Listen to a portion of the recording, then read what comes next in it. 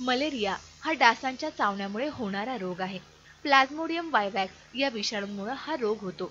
याचा प्रादुर्भाव विषुववृत्तीय भागांमध्ये जास्त आहे. मलेरियाचं गांभीर्य लक्षात घेता पंचवीस एप्रिल हा दिवस जागतिक मलेरिया दिन म्हणून ओळखला जातो. मलेरिया हा विषाणूंपासून संक्रमित होतो. अॅनोफिलिस या जातीचा डास चावल्यानं त्यांच्याद्वारा विषाणू मानवी शरीरात प्रवेश करतात आणि मलेरियाचा प्रादुर्भाव होतो. मलेरियावर मात करणं शक्य असलं तरीही मलेरिया हा एक धोकादायक आजार ठरू शकतो. ताप हे मलेरियाचं प्रमुख लक्षण आहे. जर तुमच्या घराच्या परिसराजवळ पाण्याचं डबकं असेल तर विशेष काळजी घ्या. मलेरियाच्या रुग्णांना तीव्र डोकेदुखीचा त्रास होतो.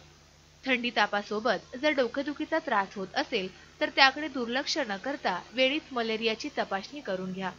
मलेरियाच्या रुग्णांना वातावरण गार नसेल तरीही थंडी भरते. अशा वेळेस डॉक्टर्स अनेकदा रक्त तपासणीचा सल्ला देतात. त्याद्वारे मलेरियाचं नेमकं निदान करता येतं. मलेरिया असेल तर रुग्णाला थंडी हुडहुडी भरण्यासोबतच सतत घाम येण्याचं प्रमाण देखील अधिक असतं. इतर अनेक विकारांप्रमाणेच मलेरियामध्येही उलट्या होणं हे लक्षण प्रामुख्याने आढळून येतं. या सर्वसामान्य लक्षणांप्रमाणेच अंगदुखी खोकला ही लक्षणंही आढळतात. म्हणूनच अधिक दिवस ताप अंगावर काढण्यापेक्षा वेळीच योग्य तपासण्यांमधून मलेरियाचं निदान करणं आणि योग्य उपचार घेणं गरजेचं आहे.